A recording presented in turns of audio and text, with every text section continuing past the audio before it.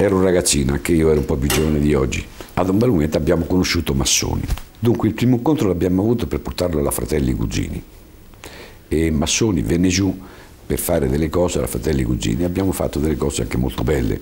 Poi il famoso Bolo Quadro e, e tanti altri articoli ha fatto perché ha lavorato molto tempo con noi massoni. Luigi è cresciuto con noi, con tutta la sua equipe che spesso veniva giù, si lavorava un momento ecco, anche, le, anche diciamo, fino a tarda sera e anche il mese d'agosto perché ricordo che il carello Massoni lo facemmo proprio nel mese di agosto.